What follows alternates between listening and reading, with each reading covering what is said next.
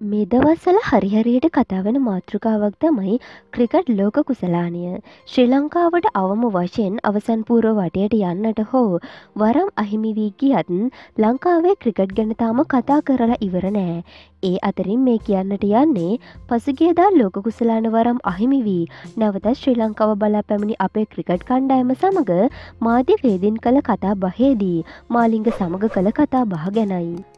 මාධ්‍යවේදීන් නගන සෑම පැනයකටම කන්නට ගහන්නක් වැනි කෙටි පිළිතුරු එසේත් නැතිනම් ඔහුගේ විදිහටම කියනවා නම් මේක යෝක පිළිතුරදීමක් මේ මාධ්‍යවේදයා නැගූ පැනේ සහ මාලිංග ඊට ලබා දුන් පිළිතුරු.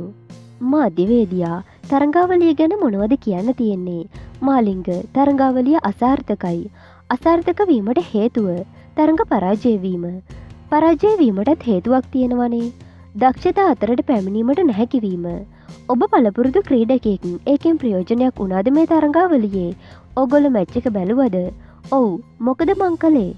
ඔබ ඔබගේ වගකීම ඉටු කලා එහෙනමට ඉන්න හට කතා කරන්න දෙයක් නෑ. හැබැයි මේක කණ්ඩායම් ක්‍රීඩාවක්. අනිත්‍යගේ සහයෝගය කොහොම දොබට ලැබුණ මේ තරඟාවලියේදී හැමෝගෙම සහයෝගය තිබුණා. එහෙනම් පරාජය වෙන්න මොකක් හරි හේතුවක් තියෙන්නේ පාය සහයෝගය සහ දක්ෂතාවය කියන්නේ වචන දෙකක්. අපේ කණ්ඩායමේ එකමුතු භාවයක් නෑ නේද? කවුද කියන්නේ? දැකපු විදියට අපට නම් එහෙමයි හිතෙන්නේ. ඔය ගොල්ල දකින්න එලිය ඉඳන්නේ අපි තමයි මැද ඉන්නේ. එලිය ඉඳන් දකිනයට උත්තර දෙන්න මං කැමති නෑ.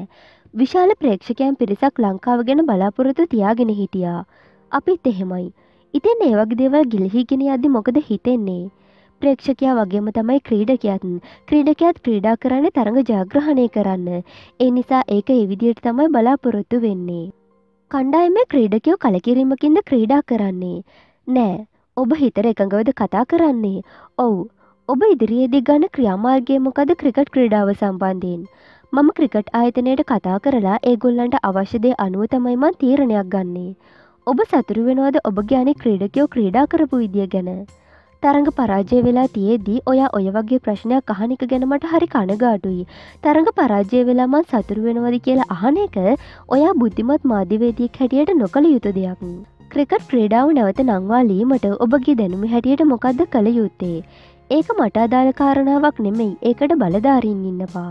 තරඟාවලිය ජයග්‍රහණය කරලා ආවනම් ඔබලව පිළිගන්න ඕන තරම් කට්ටිය ඉන්නවා මල් මාලාදාලා හැබැ මේ විද්දි කවරුවත් නෑ ඒ ගැන මොකද හිතෙන්නේ.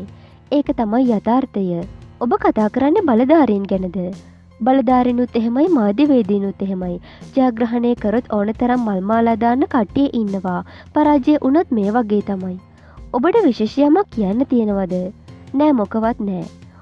මේ වීඩියෝ එක ගැනවාලගේ අදහස පහලින් කමෙන්ට කරගෙන යන්නත් අමත කරන්න එපා.